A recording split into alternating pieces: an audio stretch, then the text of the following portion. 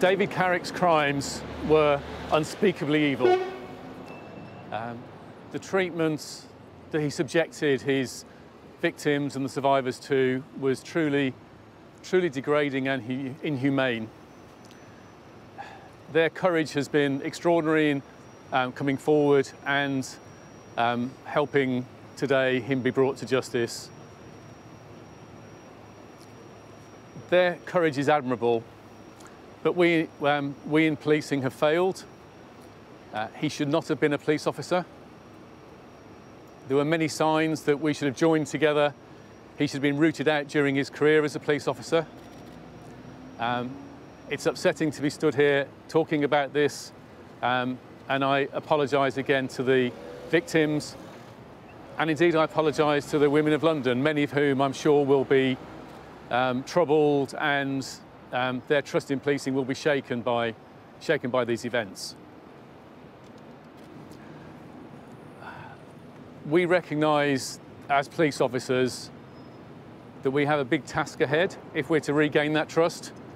Um, I have tens of thousands of colleagues, men and women, who really care about policing London and recognise the scale of that challenge and what needs to be done. I've been really clear from day one as Commissioner four months ago that one of the challenges for me was to root out those that corrupt the integrity of the Metropolitan Police.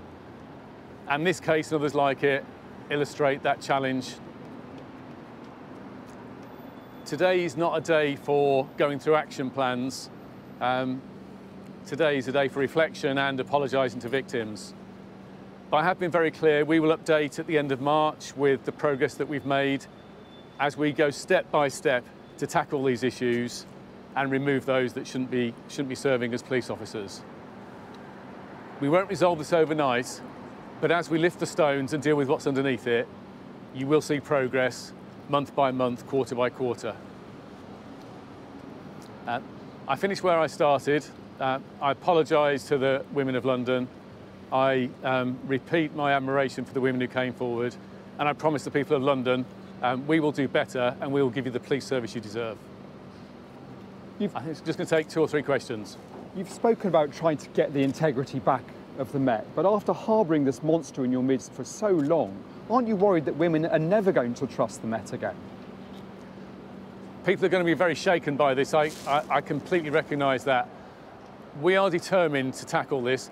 Most of our people are great people, but we've been too weak at getting rid of the ones who aren't. So you're going to see month by month changes as we remove those individuals, and you can report on that. I know my words today aren't enough, People have heard me talk about plans, and they're going to want to see the action that we take over forthcoming months, and they will see that.